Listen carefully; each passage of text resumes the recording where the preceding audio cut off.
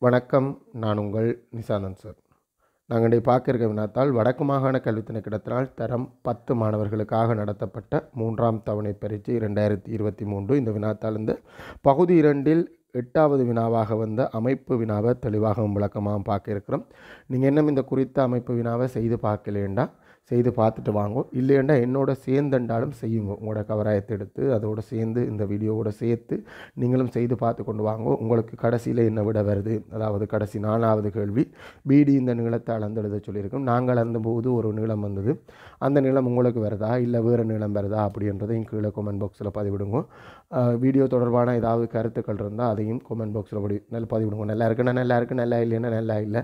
என்னுடைய ஸ்டைல் வந்து நான் கற்பிக்கின்ற அந்த முறை வந்து ஒரு இடைத்தரமான மாணவன் அதாவது ஆகலும் லோவான ஆட்களுக்கு பொருத்தமற்றதாக இருக்கும். அவை அவ வந்து என்னை விட பொறுமையாக கற்பிக்கக்கூடிய ஆசிரியரை தேடி படிக்க வேண்டியிருக்கும். நான் வந்து இடைத்தரமாக இருக்கிற மாணவர்களை மேலே உயர்த்தக்கூடிய தன்மை இருக்குது அப்படின்னு நான் நம்புகிறேன் அதே மாதிரி தான் என்னட்ட பிடிக்கிற புள்ளிகளும் அதை தான் சொல்லுது இல்லை மேலே இருக்கிற மாணவர்களும் என்னட்ட சில டவுட்டுகளுக்காக ஏற்கனவே டொப்பில் இருக்கிறான். ஆனாலும் சிரட்டை படித்தா தெளிவாக இருக்கும் அப்படின்ற அடிப்படையில் படித்து கொண்டிருக்கிறார்கள். இது எனது சூ மூலமான கணித வகுப்பு இந்த ரெக்கார்டிங் நீங்களோ இல்லை உங்களோட தம்பி தங்கைகளோ சூ மூலமான கணித வகுப்புகளுக்கு இணைந்து கொள்கிறோண்டா தாராளமாக இணைந்து கொள்ளலாம். அதன் மூலம் தான் எனக்கு ஒரு வருமானம் கிடைக்கும். உங்களுக்கு தெளிவான விளக்கம் கிடைக்கும். ஒவ்வொரு பாடப்பரப்புலையும் தெளிவான விளக்கம் கிடைக்கும். உங்களுக்கு ஏற்படுற சந்தேகங்களை தெளிவுபடுத்துறதுக்காக நான் உங்களோட இருப்பேன்.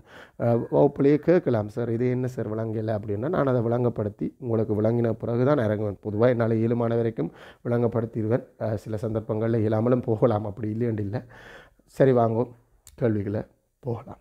எட்டாவது கேள்வி.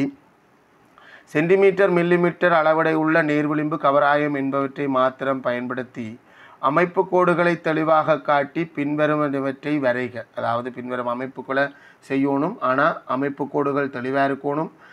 அடிமட்டம் கவராயம் அதை விட பென்சில் அலிரேசர் அதுகள் எல்லாத்தையும் தான் பயன்படுத்தலாம். முக்கியமாக சொல்லப்படுவது பாகமானி அதுகள் வந்து பயன்படுத்தக்கூடாது. முக்கோணம் அமைத்தல் சொல்லியிருக்கு. ஏபி வந்து ஏழு சென்டிமீட்டர் சி ஏபி அறுபது பாகை ஏசி சமன் ஆறு த- தசம் அஞ்சு சென்டிமீட்டர் ஆக உள்ள முக்கோணி ஏபிசியினை வரைக. அதில் நாங்கள் முதல்ல ஒரு பக்கத்தோடு தான் துவங்கணும். ஏபி ஏழு சென்டிமீட்டர் நீளமான பக்கம் ஒன்றை வரைவோம் அடிமட்டத்தை பயன்படுத்தி சரியாக ஏழு சென்டிமீட்டருக்கு கோடுகிறாமல் கொஞ்சம் பெரிய கூடாக கீறி கவராயத்தில் ஏழு சென்டிமீட்டர் அளந்தெடுத்து அதுந்த உதவியோடு நாங்கள் ஏழு சென்டிமீட்டர் நீளமான கோட்டு துண்டத்தை கண்டுபிடிக்கணும்.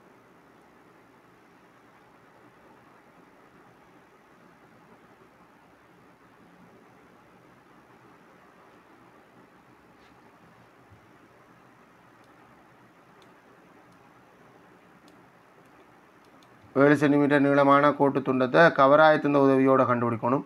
கவராயத்தை ஒரு இடத்துல வச்சு ரெண்டு பக்கம் வெட்டணும் பிள்ளைகள். இந்த பக்கம் ஒரு இடத்துல வெட்டுற மாதிரி. அங்கேருந்தும் வெட்டணும். என்னென்னா ஒரு கோட்டு துண்டம் அப்படின்றது இரண்டு புள்ளிகளால் இனங்காணப்படணும். அதனால தான் ரெண்டு புள்ளிகளை மென்ஷன் பண்ணுறேன் அதே மாதிரி ஒரு புள்ளி என்றது ரெண்டு கோடுகள் இடைவெட்டணும் அதனால தான் ஏற்கனவே இருக்கிற கோட்டுக்கு மேலே ஒரு கவராயத்தால் ஒரு வில்லொண்டை வெட்டி அந்த புள்ளிகளை இனங்காண்றேன். இந்த கோ இந்த கோட்டு இந்த பேர் ஏபி ஸோ பேருக்கும் பேரையும் குறிச்சிடுவோம். ஏ பி என்ற பேரையும் குறிச்சிடுவோம் ரைட் முதலாவது ஏபி என்ற கோட்டு துண்டத்தை வரைஞ்சாச்சு. ரெண்டாவது வந்தமெண்டா சிஏபி நான் இன்னும் சி என்ற புள்ளியை கண்டுபிடிக்கல. அப்போ என்னண்டு சிஏபி மாறிப்பார். பிஎஸ்சி பிஎஸ்சி வந்து அறுபது பாகை. எங்கே அறுபது பாகை அமைக்கணும்? ஏயில் பி ஏசி எங்கேயோ சி இதுக்குள்ளே இருக்க போது அந்த சி இருக்கிறதால எனக்கு இந்த ஏயில் வந்து அறுபது பாகை வரப்போகுது. கோணம் அமைக்கணும். கோணம் அமைத்தலை பொறுத்த வரைக்கும் நான் சொல்லித்தர்றது கட்டாயம் இதுதான் ரூல்ஸ் அண்ட் இல்லை. நான் சொல்லித் தர்றது எந்த ஒரு சந்தர்ப்பத்திலையும் அரைவட்டத்தை குறியீடு அறவட்டம்ன்றது நூற்றி எண்பது பாகை. ஏதோ நாங்கள் என்னதான் சொன்னாலும் இந்த நூற்றி எண்பது பாகைன்றதை வச்சு கொண்டு தான் இவ்வளவு அமைப்பையுமே செய்ய போகிறோம் அப்போ அறவட்டம் உண்டா குறியீடு அது பொருத்தமான ஆரையாக இருக்கும் பிள்ளைய நீங்கள் ஒரு இடத்துல ரை பண்ணிங்கன்னா உங்களுக்கு தெரியும். அந்த ஆரை வந்து ரெண்டு சென்டிமீட்டரும் மூன்று சென்டிமீட்டருக்கும் இடைப்பட்டதாக இருக்கும். பொதுவாக ரெண்டு சென்டிமீட்டராக இருக்கும். ரெண்டுக்கு கிட்டிய ஆரை எடுத்தீங்கன்னா பொருத்தமாக இருக்கும். நீங்கள் ரெண்டு சென்டிமீட்டர் ஆரையுடைய ஒரு அரைவட்டத்தை கிருங்கோ. முழுமையாக முழுமையான அரைவட்டமாக கிருங்கோ. அதில் எந்த ஒரு பஞ்சியும் தேவையில்லை. ரைட்டா முழுமையான அரைவட்டமாக கிருங்கோ.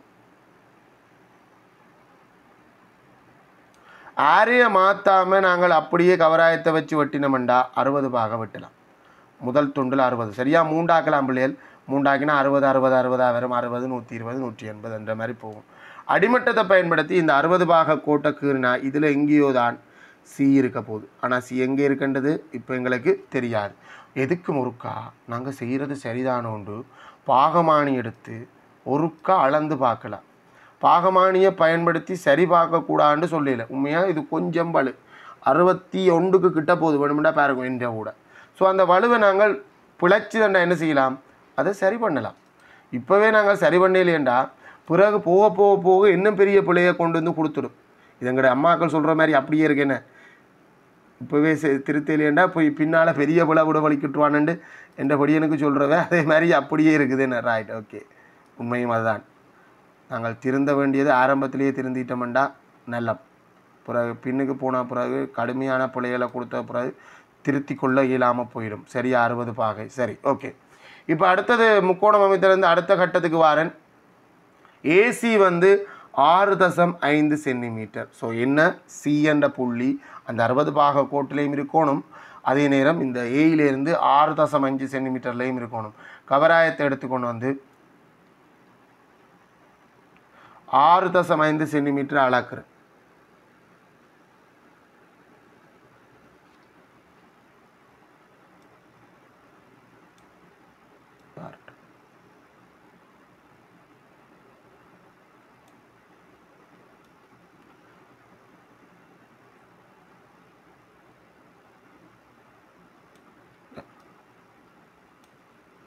ஆறு தசம் அஞ்சு சென்டிமீட்டர் அளந்து ஏயில் வச்சு ஏற்கனவே கீர்ன அந்த அறுபது பாக கோட்டில் வெட்டுறேன். அப்போ சரியாக அறுபது பாக கோட்டிலையும் இருக்கும். ஆறு தசம் அஞ்சு சென்டிமீட்டர் தூரத்துலேயும் இருக்கும். ஏயில் வச்சு வெட்டி அந்த புள்ளிக்குத்தான் இடம். அந்த புள்ளி இந்த இடம்தான் சி என்றதை குறித்து இதை முக்கோணமாக பூர்ணப்படுத்துறதுக்காண்டி அடிமட்டத்தின் உதவியோட பிஏயும் சிஏயும் இணைச்சு இந்த முக்கோணத்தை கீறி முடிக்கணும். ரைட் அப்போ முதலாவது கேள்வி செஞ்சாச்சு முக்கோணம் அமைத்த ஏசிக்கு சமாந்தரமாக சியினூடாக கோடு ஒன்றை வரைக. ஏசிக்கு சமாந்தரமான கோடு. படியா பார்ப்போம் ஏபிக்கு என்ன? ஏபிக்கு சமாந்தரமாக சியினூடாக கோடு ஒன்றை வரைக. முதல்ல நீங்கள் லைட்டாக வேணுமென்னா என்ன செய்யலாம்டா பரும்படியாக அந்த கோட்டை கீறி பார்க்கலாம். பாருங்க அந்த கோடு நான் முதல் கிண்ண கோடு பிழைச்சி போட்டு அது முக்கோணமாக வழியாக கீழ்படி லைட்டாக பரும்படியாக அந்த கோடை நாங்கள் கீறி பார்க்கலாமா? இப்படி இருக்க போகுது அந்த கோடு. ஏபிக்கு சமாந்தரமான கோடு இதுதான். சரி ஒரு கோடு சமாந்தர கோடை நாங்கள் குத்துமதி மதிப்பாக கீறி போட்டு சமாந்தரம் கூறுறோம். அது பரம்படி படம். இது சரியாக துல்லியமாக கீறப்பட வேண்டும். அப்போ என்னென்று கீறலாம்? ரெண்டு புள்ளி தெரியணும். ஒன்று சி ஒன்று தெரியும். ரெண்டாவது புள்ளி எப்படி இனம் காணலாம்? ஒத்த கோணம் சமனாக இருக்கிறது மாதிரி ட்ரை பண்ணலாம். அதாவது இதில் இருக்கிற அறுபது பாகையை இதில் ஒரு அறுபது பாகையை உருவாக்கினோம்டா.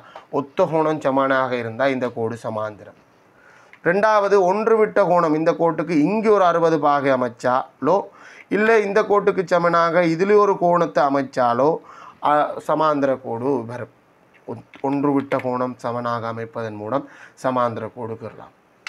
அடுத்தது இந்த செங்குத்து தூரத்தை கண்டு இன்னும் ஒரு இடத்துல செங்குத்து தூரத்தை பிடிச்சு செவ்வகம் அமைத்தல் மாதிரி கிட்டத்தட்ட ஒழுக்கு ஒழுக்க பயன்படுத்தியும் சமாந்திர கோடு அமைக்கலாம்.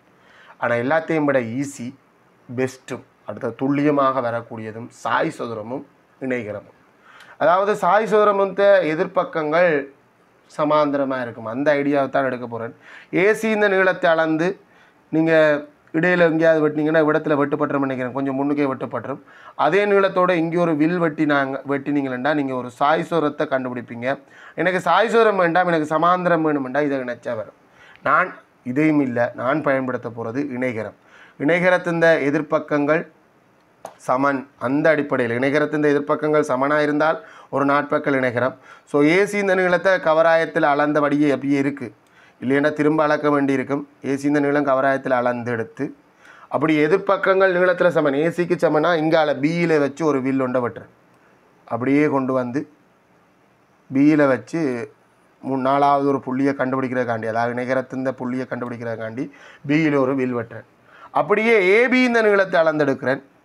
அதாவது எதிர்ப்பக்கங்கள் நீளத்தில் சமனாக இருக்கிற மாதிரி ஒரு நாட்பக்கில் வரைய போகிறேன் ஏபி இந்த நீளத்தை அளந்தெடுக்கிறேன். நான் இணைகரத்தை பயன்படுத்துகிறேன் சாய் சுரத்தை பயன்படுத்துகிறேன்னா அப்படியே ஏசியை வச்சே வெட்டியிருப்பீங்களா? நான் இணைகரத்து இந்த ஐடியாவை பயன்படுத்த போகிறேன் ஏபி இந்த நீளத்தை அளந்தெடுத்து சீல வச்சு ஒரு வில் ஒன்று வெட்ட போகிறீங்க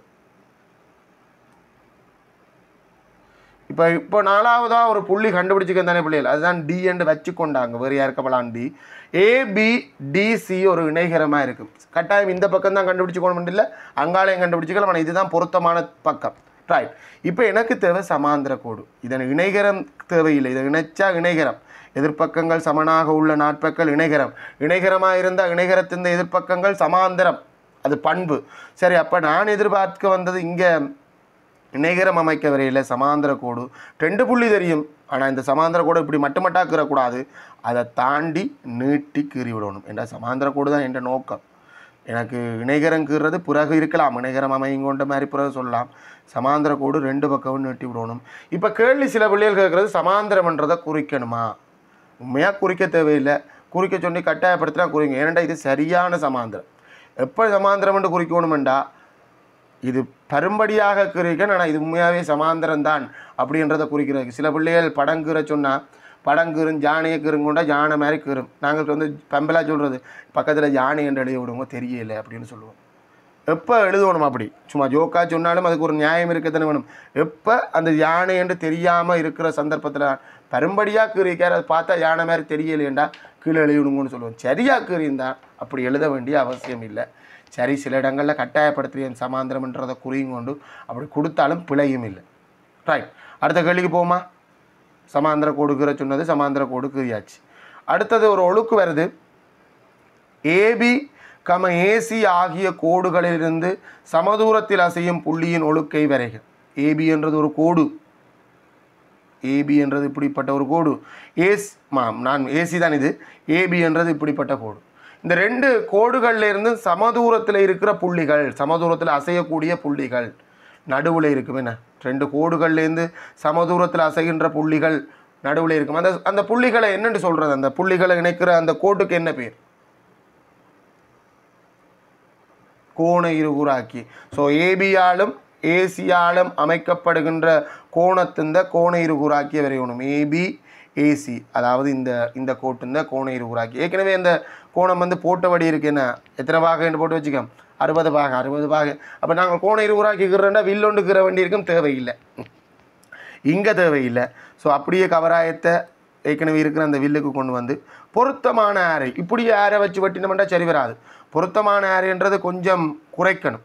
ரைட்டானே ஆரையை குறைச்சி எக்ஸ் மாதிரி அதாவது குறுக்க வெட்டும்பட போது நல்ல வடிவாக புல்லடியை இனங்காணக்கூடிய மாதிரி ஒரு பொருத்தமான ஏரை எடுத்து இதுலேருந்து ஒருக்கா வெட்டுறேன் அடுத்த வில் இங்கால முற்ற அந்த கோட்டில் முற்ற இடத்துலேருந்து என்ன முறுக்கா வெட்டுறேன் இந்த ரெண்டு விட்களும் வெட்டுப்பட்ட புள்ளியையும் ஏயையும் இணைச்சு நீட்டினா கோண முழுமையாக கண்டுபிடிச்சிடும் ரெண்டு வு- வெட்டுப்பட்ட புள்ளியையும் ஏயும் இணைச்சு. கட்டாயம் பெருசாக நீட்டுவோம் முறை ஏதாவது வில்லங்கம் கொடுப்பானுங்கள் கட்டாயம் பெருசாக நீட்டி விட்ருவோம் அப்புறம் அங்கே போய் அந்த சமாந்திர கூட முட்டட்டும் அதை இதுன்னு சொல்லி விட்ருவாங்க நல்ல பெருசாக நீட்டி விடுவோம். ரைட்டா? கோண இருகூறாக்கி கறியாச்சு. ஸோ கேட்கப்பட்ட கேள்வி மூன்றாவது கேள்வி. அசையும் புள்ளியின் ஒழுக்கை வரைந்து அது மேலே ரெண்டில் வரைந்த சமாந்திர கோடை இடைவெட்டும் புள்ளியை டி என சந்திக்கும் புள்ளியை டி என பெயரிடுக. பார்த்தீங்களா நல்ல காலம் நாங்கள் நீளமாக கீறினோம். ஸோ இந்த கோணையிறு ஊராக்கி போய் சந்திக்குதே இந்த புள்ளி. அந்த புள்ளிக்கு என்ன பேர்? இந்த புள்ளி. இந்த குறித்த புள்ளி. கோணையிறு ஊராக்கி நாங்கள் கிருண சமாந்திர கூடும் சந்திக்கிற புள்ளிக்கு பேர். டி அண்டு பேர் வைக்கட்டுமாம். ஸோ டி அண்டு பேர் வச்சு விடுவோம் ரைட் ஓகே டி என்று பேர் வச்சாச்சு. அப்புறம் இப்போ மூண்டாங்கல்லி செஞ்சாச்சு. பிடியை இணைத்து அதன் நீளத்தை அளந்தெழுதுக. பிடியை இணைக்கட்டுமா க- அடிமட்டத்தின் உதவியோடு தான் இணை இணைக்கணும். நான் அடிமட்டம் இல்லாமல் இணைக்கிறேன். இதில் வந்தது ஒரு சாய் சோதரம் என்று நினைக்கிறேன். பிடியை இணைத்து அதன் நீளத்தை அளந்தெழுதுக ஒரு கலப்பமாக அளக்குறேன்னா நேர அடிமட்டத்தை கொண்டு வந்து அப்ளை பண்ணுற இல்லையடா உண்மையாக நீ ஒரு கோட்டு இந்த நீளத்தை அளக்கணுமெண்டா? விரிவாரி அப்படின்ற ஒரு டூல்ஸ் கொம்பாசுக்கள் இருக்கும். ரெண்டு கூறு இருக்கிற மாதிரி இருக்கும். இல்லையண்டா குறைஞ்சபட்சம் கவராயம். கவராயத்தில் நீளத்தை அளந்தெடுத்துட்டு அதை கொண்டு வந்து அடிமட்டத்தில் செக் பண்ணணும். நான் நினைக்கிறேன் ஆறு தசம் அஞ்சு சென்டிமீட்டர்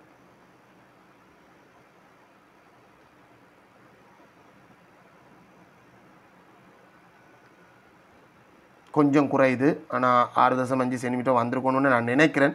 என்னவோ தெரியல. எனக்கு வந்தது தானே நான் போடையிலும். உங்களுக்கு என்ன விட வந்ததடா? ஆறு தசம் அஞ்சு வரணும். ஆனால் கொஞ்சம் குறைவாக வருது. ஏனோ தெரியல. நாங்கள் ஓ நாங்கள் அந்த கோண கோண இருவுராக்கில் ஏதாவது கோண இருவுராக்கில் ஏதாவது மிஸ்டேக் விட்டுருக்கலாம். அதனாடி தான் எங்களுக்கு ஆறு தசம் அஞ்சு வராமல் எனக்கு விட்டுருக்கு.